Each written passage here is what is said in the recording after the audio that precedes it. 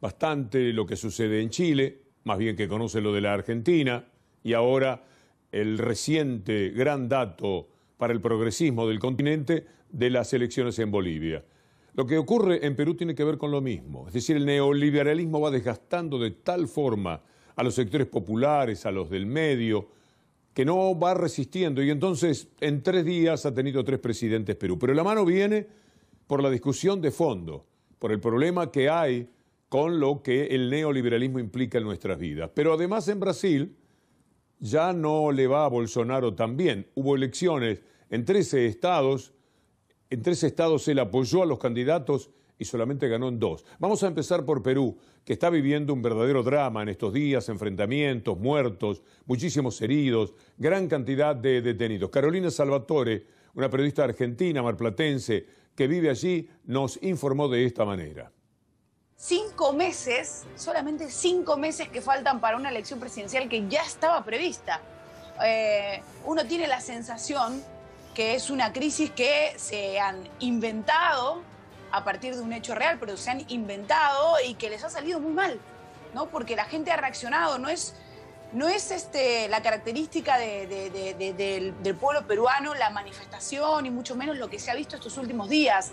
Por eso la diferencia y el cambio de paradigma aquí está dado en lo que han hecho los jóvenes a partir de esta situación, que son quienes han salido a la calle en defensa de sus padres, en defensa de las futuras generaciones Si usted se pregunta si se juega el partido de mañana de Argentina-Perú, da la impresión que sí. La Colmebol dice, nosotros nunca nos metimos en política, siempre nos metimos con el dinero de la televisión.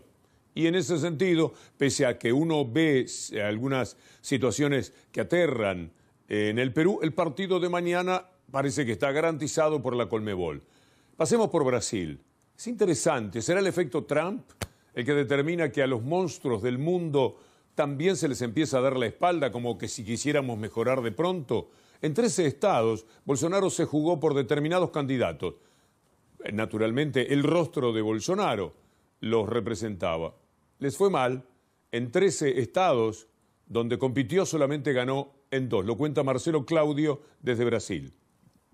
Bolsonaro apoyó 13 candidatos y solamente dos obtuvieron victoria datos de color en varios municipios eh, eligieron por primera vez a candidatos trans y travestis. Es el caso de las ciudades de San Pablo, Niterói y Vitoria. A contramano de todo esto, Salvador, la capital de Bahía, donde el 82% es negro, pobre, eligió como alcalde un blanco, rico y de derecha, Víctor Hugo. Esa arrogancia que a Bolsonaro le empieza a costar caro y ojalá que así sea, como a Donald Trump, se registra todavía en el fenómeno del neoliberalismo de la ciudad de Buenos Aires. Una ministra Soledad Acuña se llevó por delante todo, una provocación, un insulto, una grande que no se sabe de dónde lo saca, por cierto, para decir que los eh, padres pueden denunciar a los maestros en caso de que haya una cuestión ideológica por medio. Primero la escuchamos a ella y después le vamos a dar una buena refutación, porque es lo que se merece. Ideologizado y de la militancia política en las, en las aulas, la raíz está en la formación docente. Nos cuesta que nos hagan las denuncias formales para que nosotros podamos tomar intervención en el aula, porque el problema está en el aula, porque cuando es en un acto del 25 de mayo, si tienen una bajada política, ahí sí nos enteramos e intervenimos.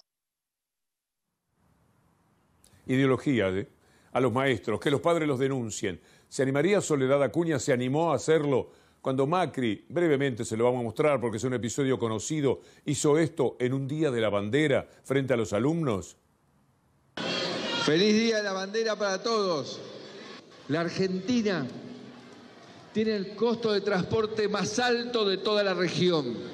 Es producto de privilegios acumulados en forma ilegal en forma arbitraria por el señor Hugo Moyano y Pablo Moyano.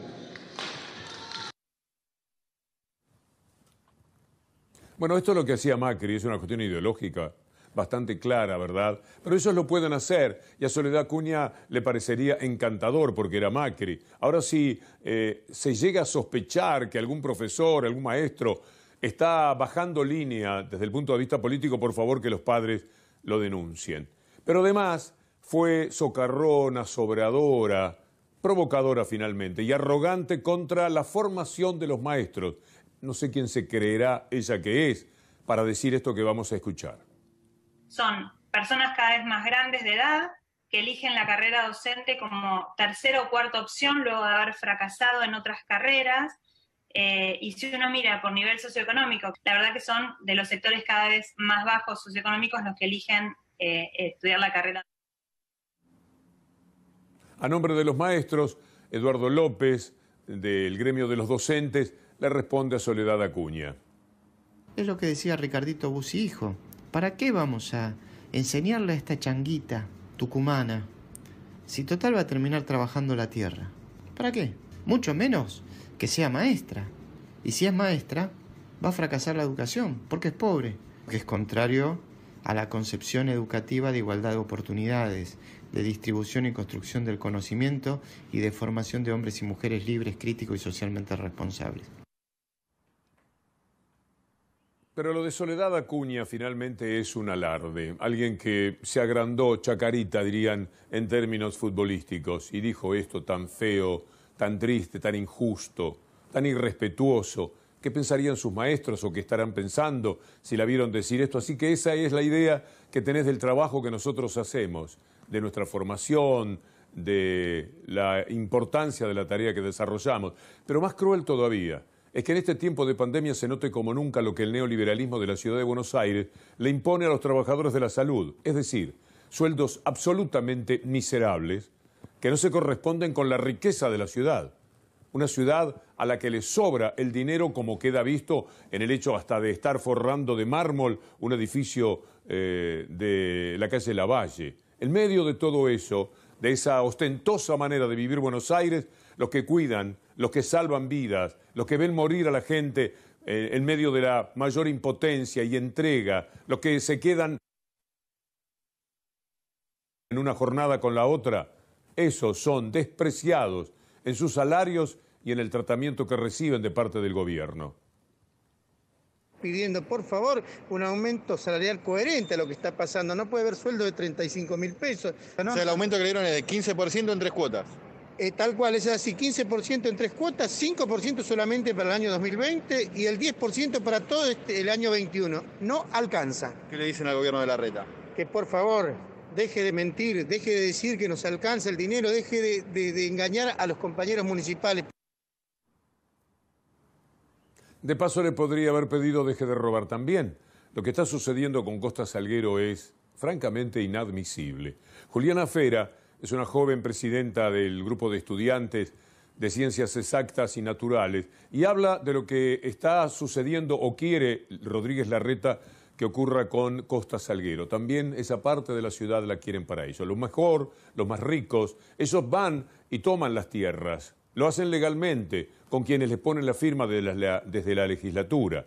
Ya se han quedado con los terrenos atrás del Sheraton. Tienen para hacer dulce con el dinero, con la construcción. Pero en cambio perjudican a la ciudad, al ambientalismo, al derecho que queremos igualar de todos respecto al disfrute de la ciudad de Buenos Aires y no los que vivan en edificios que quién sabe si finalmente son habitados, porque siempre hay un gran negocio inmobiliario, pero no una solución, por supuesto, para temas que tienen que ver con la vivienda, como sucede, y lo decía Lamens el otro día, también en Puerto Madero. Juliana Fera es una de las luchadoras que quiere que vaya mucha gente a la audiencia pública que se va a realizar este 27 de noviembre para decirle a Rodríguez Larreta, otro robo no, por favor, Alibaba.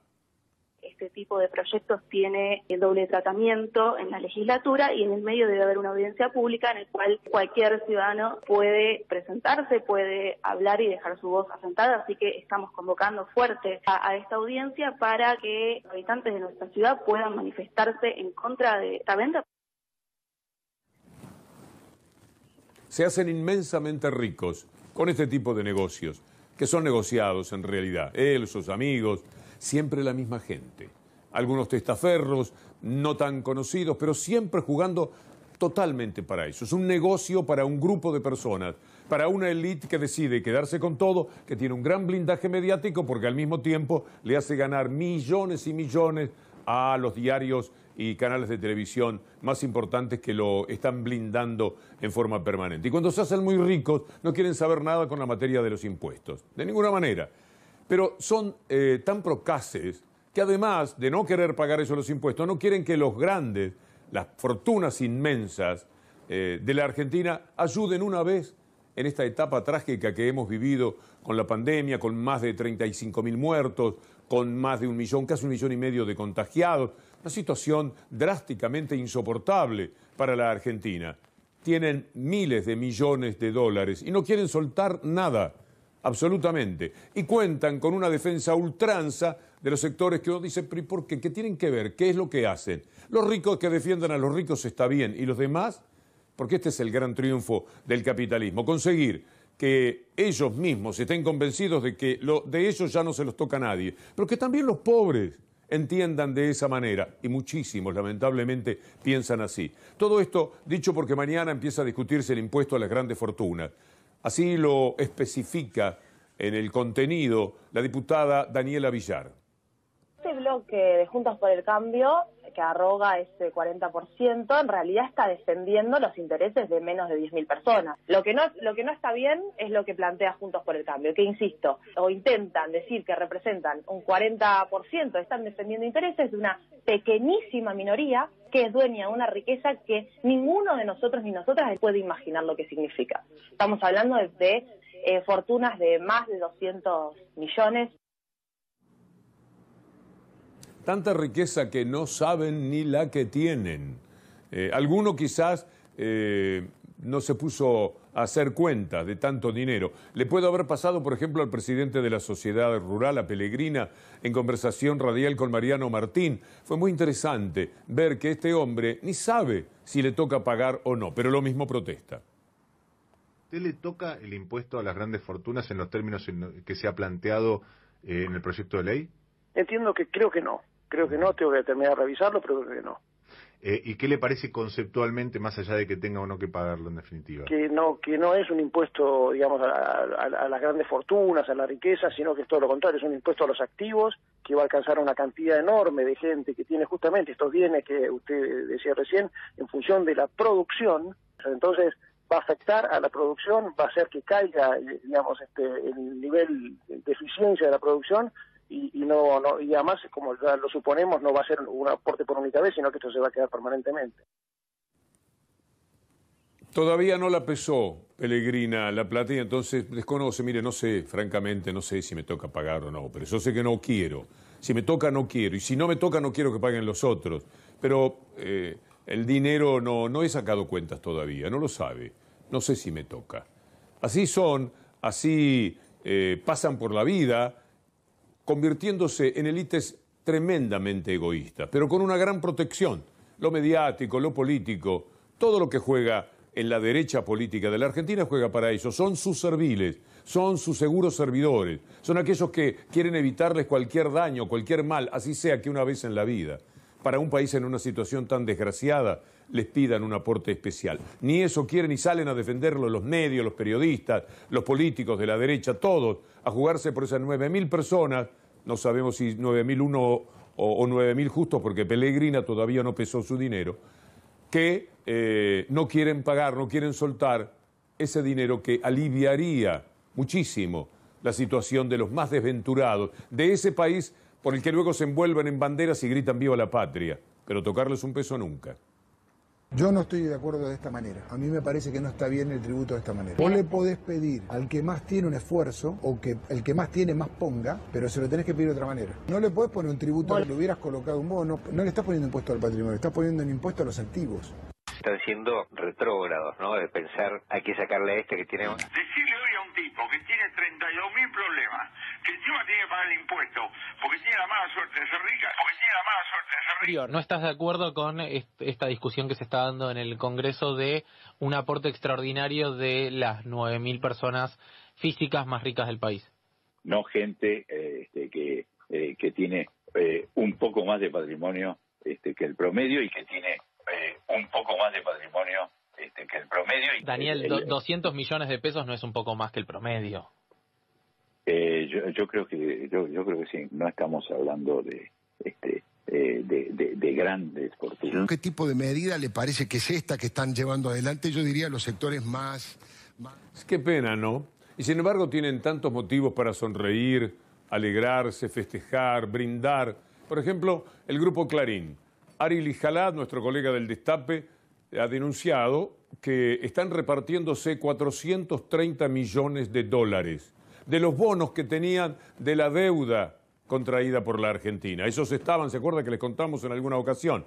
Esos también estaban prendidos en todo eso. Bueno, tienen 430 millones de dólares nada más que de Telecom, de uno solo de los negocios de Mañeto, que se debe quedar más o menos con 200, porque tiene el 21% de, de Telecom, el 21% de este otro negocio. Todo el reparto tiene que ver con él y con la cúpula. ¿A usted le parece 430 millones de dólares y el daño que han hecho en estos meses al gobierno y al país porque estaban enojados, porque le dijeron, muchachos, vamos a no aumentar las tarifas, eh, el DNU tan conocido, hasta fin de año por lo menos? Mire si hay dinero en juego, mire si hay poder en juego. 430 millones de dólares, toma Mañeto, eh, toma Aranda y todo, cada uno de los fulanos que están allí, Fintech, el señor Martínez, etcétera. No es poca plata, no es como para quejarse, no es para hacer tanto daño y además sería como para pagar un poco ciertos impuestos.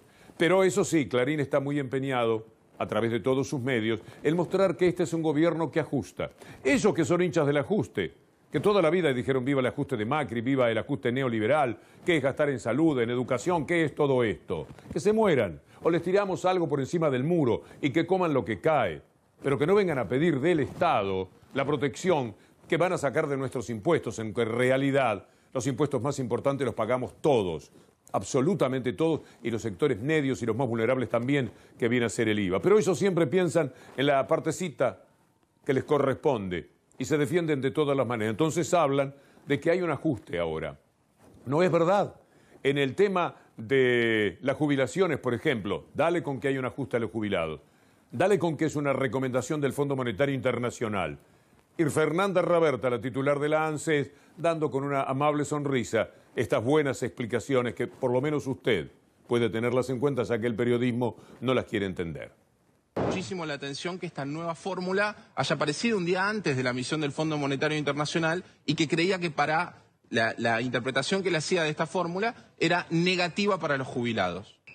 Qué buena pregunta, porque sabes que muchos me han preguntado sobre el tema. Y es curioso, porque es una reflexión un poquito irracional, porque vos recordarás que la fórmula del 2008 se discutió en la Argentina y se implementó por primera vez en la historia en un contexto donde el FMI no supervisaba a la Argentina, porque justamente el presidente de la Nación, eh, Néstor Kirchner, había hecho que el fondo ya no le debiéramos nada al fondo y que ya el fondo no estuviera en la Argentina. Hay personas de la oposición que también escuché decir eso, que son aparte los que trajeron al fondo nuevo, creen o piensan o dicen que puede haber alguna, algún vínculo con una, forma, con una fórmula que venimos discutiendo. Desde mayo, en el Congreso de la Nación, en una comisión mixta donde hubo 20 sesiones, donde escuchamos a 24 especialistas y donde la enorme cantidad de especialistas dijeron que había que volver a una fórmula que pudiera aumentar los saberes teniendo en cuenta el RIPTE, que es la variación del salario, y teniendo en cuenta eh, los ingresos, los recursos que tiene este organismo. Entonces, Es decir, que el gobierno va a hacer lo mismo que hizo hasta el 2015, cuando había echado al Fondo Monetario Internacional, muchos años antes, del 2008 al 2017, en realidad, porque Macri lo cambió recién en el 2017, las cosas se hicieron como se van a hacer ahora. No fue mal, ¿verdad? Pero por lo menos lo que queda claro que desde el punto de vista de la idea es la misma. Y no tiene nada que ver el Fondo Monetario Internacional, que sí tuvo mucho que ver, como denunció la doctora Julia Estrada, en su momento con el cambio que hizo Macri. Fue recomendación del Fondo Monetario Internacional hacer el tema afiliado a la inflación y no al salario y a la recaudación. Eso fue lo que hicieron. Cuando se le hizo caso al Fondo Monetario Internacional, como en todos los terrenos, nos fue muy mal. Cuando el gobierno tomó sus propias decisiones soberanas, le fue bien. Hasta el 2017 regía la fórmula que ahora se va a poner en práctica. Pero eh, los jubilados son todo un tema para quienes están salvados de por vida, ellos y sus chornos. Eh, mire lo que sucede con Pellegrina, volviendo al presidente de la sociedad rural, y su molestia por los jubilados que hay, la, la cantidad de jubilados que hay en la Argentina. Tenemos un problema de una estructura demasiado grande. El Estado ha crecido a niveles, digamos, demasiado grandes respecto al crecimiento de la economía. No sé cuántos eran los millones de, jubilados, no sé si un millón y medio nuevo de jubilados que no aportaron nunca, y eso, digamos, fue una mochila extra para, digamos, para el fisco. Ese millón y medio no estaba en ningún lugar. Sí, hay más jubilados, eh, más jubilados que hace 20 años. El país es más grande, tiene varios millones más de habitantes. Algunos llegaron a los 60 y a los 65 años con la fórmula que Pellegrina seguramente apoyaba. Lo que hicieron fue convertir las jubilaciones en pensiones. Ahí nomás les estaban robando el 20%, más el 20% que le robaban a quienes estaban jubilados.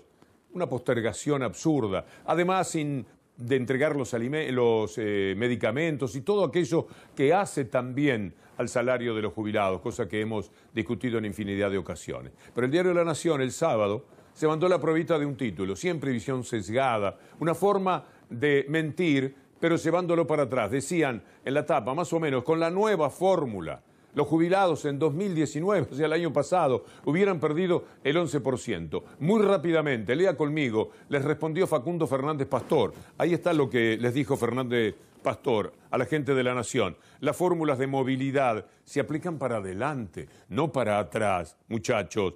Pero podrían haber hecho tapa con una reparación histórica que timbearon 44 mil millones de dólares del Fondo de Garantía de Sustentabilidad y con la reforma previsional los jubilados perdieron el 20% de los beneficios.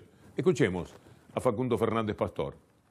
Me pareció que era una hipocresía que la nación primero hiciera un análisis contrafáctico de la aplicación de un índice de movilidad que se va a aplicar hacia futuro, no hacia atrás como eh, lo hace el titular de la nación. La nación dice cuánto eh, daría hipotéticamente la aplicación de la nueva fórmula de movilidad si se aplicara en el año 2019. Pero no dice, y no dijeron nunca, la ley de reparación histórica le permitió al gobierno macrista fugarse 44 mil millones de dólares del Fondo de Garantía de Sustentabilidad, ni que con la ley de reforma previsional y todos los beneficiarios de la seguridad social perdieron el 20% de sus beneficios y los que vayan a obtener sus beneficios a futuro. Eso nunca fue tapa ni de la Nación ni de ninguno de los medios concentrados de la Argentina. Esos medios son indudablemente los grandes enemigos del pueblo, porque si el pueblo elige un gobierno y juegan de esta forma cada día durante los primeros 10 meses de mandato, es que van contra el pueblo, van contra la democracia. El malestar es justamente con el gobierno del pueblo, que eso quiere decir democracia. Entonces, eh, hay que tenerlos en cuenta siempre, van juntos. Cuando discutimos del ajuste, de la jubilación, eh, de la verdad y de la mentira, siempre están los medios de por medio. Y ahí está también el presidente Alberto Fernández diciendo algo que, por cierto, compartimos en este caso. todos los medios que años atrás no se preocuparon ni cómo se gastaba ni cómo se endeudaba la Argentina, eh, ahora están todos muy preocupados por ver dónde estamos haciendo el ajuste. Yo se los explico muy fácilmente a los argentinos. El ajuste lo estamos haciendo dejando de pagar intereses de la deuda que otros tomaron y que nosotros decidimos postergar esos pagos para privilegiar inversiones de este tipo. Si quieren saber dónde está el ajuste, ahí está el ajuste. Este año debíamos destinar 7 mil millones de dólares a pagar solamente intereses de la deuda. Y nosotros preferimos este año usar esos recursos para sobrellevar la crisis que la pandemia nos generó. Y en los años venideros pasará otro tanto. Nunca usó La Nación y Clarín la palabra ajuste cuando el Ministerio de Salud se convertía en secretaría. Para minimizarlo, no importaba. Nunca les pareció ajuste que hospitales que estaban para inaugurarse con dos pasos más no se llevaran a cabo. Nunca les pareció ajuste cuando las personas con discapacidad hicieron siete marchas a la Plaza de Mayo pidiendo que no les quitaran lo poco que tienen en su vida en una lucha tan despare- despareja como la que tienen que llevar a cabo. Nunca les pareció un ajuste echar y echar eh, trabajadores estatales y ayudar a la caída de las empresas porque no podían ayudarlas. Con aquellos créditos pavorosamente caros del 70%, 74% llegaron a... Eso no les parecía ajuste. ¿Les parece ajuste que se vuelva a una forma de movilidad en las jubilaciones igual a la que hubo durante casi 10 años en la República Argentina y no es para nada la peor etapa que hayan tenido los jubilados, que además fueron muchos más jubilados porque se jubiló mucha más gente de la que hubiera soñado la Argentina, eso que tanto fastidia a Pellegrina. Del otro lado, lo que tenemos es que responsables como son del ajuste y del fracaso electoral al que los arrastró el ajuste, porque comprometieron demasiado a la clase media, están muy peleados, están muy divorciados. Ahora la nunca fácilmente presentable Elisa Carrió va contra Macri, ya no lo puede soportar a Macri, aquel que era eh, el hombre que estaba predestinado para salvar a la Argentina, cosa rara porque se había dicho ya todo lo contrario, ahora no habla más con Macri. Y cuando dice por qué no habla más con Macri, está denunciando a Macri en el uso que hace de las personas, a ella por dejarse usar, por Macri, por Clarín, por el que venga, como denunciante tradicional, para lo único que sirve. La propia Carrió, alguna vez enojada con Clarín, dijo, yo le sirvo muchísimo para las denuncias, pero cuando quiero ser candidata a presidenta dicen que estoy loca. Y bueno, ella se lo ha buscado, se lo ha ganado, ese concepto. Miren lo que cuenta de por qué se peleó con Macri. No, no, fue peor. Me dijo, tu única función es denunciar, para lo único de servicio. Y entonces ahí le digo, bueno, pero que ayude también el PRO a hacer las denuncias, porque yo estoy en todas las estrategias jurídicas. Me dijo, no, para eso servís vos. Ahí corté, para siempre. Porque lo que lo defendí y lo que me costó hacer la alianza y lo que lo defendí, entonces hay que tener respeto. Lo cual no significa que no haga campaña y que no mantenga, porque Juntos por el Cambio también es una creación y una invención bastante personal y colectiva, pero bastante personal, es de la carterita. Así son y así están. Quiere decir que además, por lo que van a ver ustedes a continuación, cuando dice no hay manera de defenderlo a Macri, porque ella sabe, ¿se acuerdan de You're Stupid? No lo vamos a pasar hoy. O cuando decía no tiene decencia, muchacho que se crió como, como tal, con ese concepto, no tiene decencia. Pero ella lo mismo salía a buscar sus votos, su eh, persistencia en el mundo de la política a través de decir que Macri era poco menos que Gardel. Miren lo que dice ahora. En enero del 2019 tenemos una reunión con Macri le digo, yo voy a hacer esto. Esta elección, si convencemos que vos no sos el duro ni esto, sino que explicamos que vos sos un ingeniero con todas las limitaciones, yo tenía que defenderlo. Viste que no hay muchos recursos para defender a Macri, tampoco decimos, viste, es un humanista consagrado, es un filósofo, no podía. Yo tenía que decir, es ingeniero, viste, juega la pelota. Y salí en marzo y no paré hasta noviembre. ¿Está claro? Y en las paso salí después a hablar sola porque lo estaban entregando al presidente para que no haya ni segunda vuelta. La tenían para denunciar. Las eh, denuncias de Carrió han fluctuado entre la mentira, la infamia y la crueldad. Enseguida les voy a mencionar una de la que quizás ni se acuerdan. Eh, porque pasó con rapidez y fue hace cuatro años. Pero antes quiero decirle que ellos, los denunciantes, los que mandaron presa a tanta gente, que puede llegar a morir en la cárcel de una manera tan pero tan injusta, ellos evitaron que les pasara lo mismo. Hace cuatro años hoy, me lo recuerda la gente de Debate Mendoza, eh, cuatro años hace hoy, ellos disponían que la doctrina, por así llamarle, el despropósito jurídico, Irursun, no corría más, porque ahora eran ellos los que podían ir presos. ¿Se puede ser tan soez? ¿Pueden haber llevado adelante una práctica tan inhumana como meter presa a la gente, pero cuando ellos corrían el riesgo, rápidamente se curaron en salud y sacaron el boletín oficial hoy hace cuatro años? Sacaron que, bueno, ahora no corre más lo de Irursun. Era mientras no estábamos nosotros como posibles condenados. Eran los otros. Que vayan presos, ¿qué me importa? Ahora nos puede tocar y en consecuencia vamos a cambiar. Y de las denuncias de Carrió, hace cuatro años ella denunció a la madre de Cristina Fernández de Kirchner, a Ofelia, 87 años, tenía, no importaba nada. Así como Stolbizer cargaba contra la, eh, la hija, contra Florencia, ella fue contra la madre, en algo que después se demostró no era ni delito, pero miren cómo lo presentaba el canal de la gente que hoy repartió modestamente 430 millones de dólares en medio de la pandemia. La cooperativa El Aldabón de la madre de Cristina Kirchner, la abuela de Máximo. Pero hay otra socia muy particular. Es Ofelia Wilhelm, la madre de la expresidenta Cristina Fernández de Kirchner. Estamos en el barrio de Ofelia Wilhelm, la mamá de Cristina Kirchner, que es una de todas las integrantes de esta sociedad. Vamos a ir hasta su casa a ver si se encuentra y a ver si, le- si nos cuenta qué hacía en la cooperativa. ¿Se acuerdan que también una diputada del entonces oficialismo, una denunciadora serial, había denunciado que mi madre, mi madre, en un gremio había tenido una estafa, no sé qué cosa, con, con una cooperativa, con el correo. Mi madre, dirigente sindical durante 30 años, nunca con licencia gremial y vía de su jubilación y de la pensión de mi padre. Bueno, hoy la resolución, mi madre se amargó mucho en ese momento y sufrió mucho, porque es una mujer que no, que no estaba acostumbrada a estas cosas de la política, en estos términos. No había delito, no, eran, no había nada. Era una manera de darle otro título a la gente de Mañeto, que están ahora contando, parece que eran 429 y alguien dije, che, acá hay un millón menos, estoy jugando. Porque tanta plata, tanta plata, si falta un millón es como más o menos como si a nosotros nos faltaran 100 pesos, o quizás menos todavía.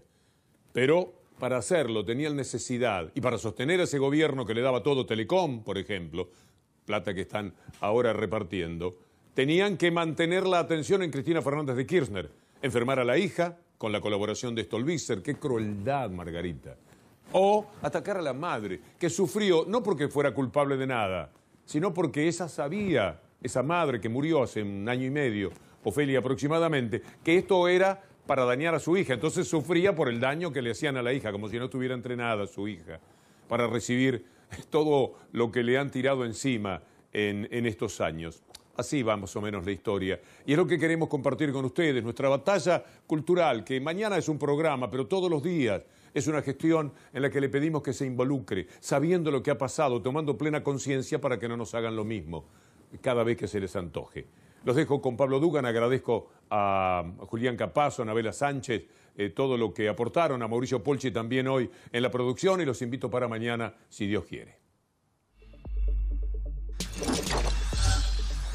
Gracias, Víctor Hugo. Señores, ha habido mucha, mucha información, mucha noticia sobre el tema Ara San Juan en los últimos días. Por supuesto, Lautaro tiene un informe sobre la cuestión. Hola, Así es, Lautaro. Pablo. Te saludo nuevamente y a todos los que están del otro